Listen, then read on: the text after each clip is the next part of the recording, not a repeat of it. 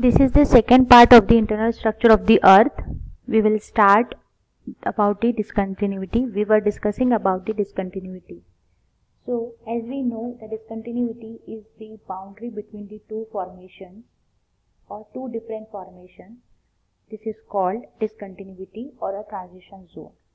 So as we discussed there are five types of discontinuity and each discontinuity is different with the other. The first is Conrad discontinuity. The Conrad discontinuity is a boundary which separates the upper crust to the lower crust or simply we can say it is a discontinuity which separates Sial and Sima. The Sial upper layer of the crust and the Sima which is lower layer of the crust. It is called Conrad discontinuity. Then second is Mohorovich's discontinuity. The Mohorovich's discontinuity is a boundary or a transition zone which separates the lower crust and upper mantle. Or simply, it is a boundary which separates the crust or mantle.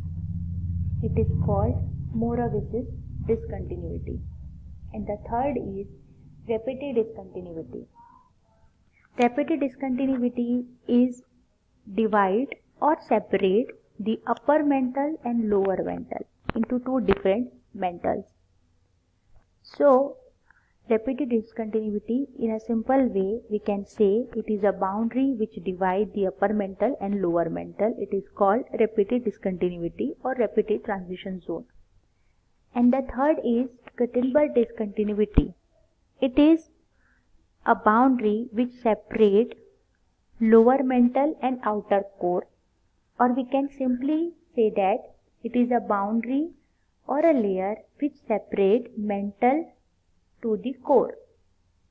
It is called Gutenberg discontinuity. And the last and final discontinuity, it is Lehmann discontinuity. It is the discontinuity which separate outer core and inner core or simple in its divide the core into two parts that is outer core and inner core. This is called Lehmann discontinuity. This all discontinuity is very important for the formation of the earth and the other material and the chemical composition of the transition zones so this is our discontinuity now, next is if we are talking about the temperature of the earth crust or mantle on the core. So, it is seen that every 100 meter deepening the temperature increasing 2 to 3 degrees Celsius. If we go 100 meter deep deepen, every 100 meter deepening the temperature automatically increases 2 to 3 degrees Celsius. And if we're talking about the tectonically active area which is present up lower crust and upper mantle where the temperature is about 1000 degrees Celsius at a depth of 43 km. It is the area where the earthquakes and volcanoes originated. Hence it is called tectonically active area. So most of the oceanic crust is active area for the formation of the sea floor or the formation of the volcanoes and island arc. And the depth is about 43 km and the temperature is about 1000 degrees Celsius. This is all about the lower crust and upper mantle. Now, the summary. So, we were discussed we have discussed about the earth interior that is the with the help of seismic investigation the earth divided into three major parts the crust mantle and core. Then we have discussed the crust. Crust is the outermost layer of the earth. It is a thinner layer or thinnest layer of the earth crust and it is divided into two layers. That is first is Sial and the second is Sima and the boundary which is separate the Sial and Sima is called Conrad discontinuity. Then the mantle. Mantle is a third, uh, sorry, middle layer uh, of the earth crust which is again divided into two layers, outer layer and uh, upper layer, upper mantle and lower mantle. And upper mantle contains the asthenosphere which is also called as magma chamber because magma is originated in it and generated. So hence it is called asthenosphere or magma chamber. Now third is the core. Core is the innermost layer of the earth crust.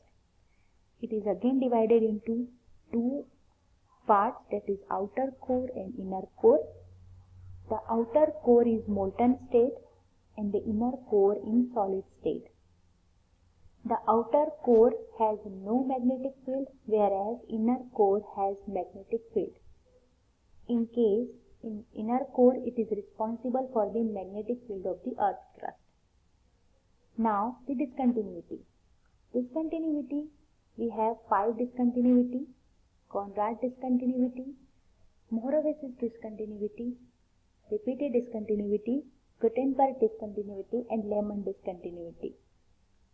So Conrad discontinuity as we say, uh, as I said, it is the boundary between Sial and Sima and Moravec's discontinuity, it is a boundary between crust and mantle.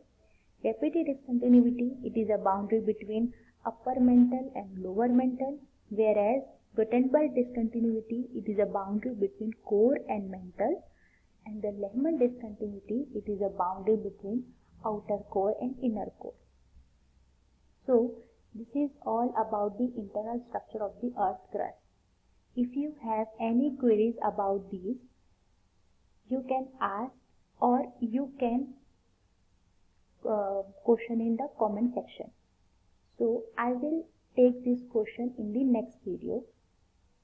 So next lecture will be on Thursday, uh, sorry, will be on Saturday.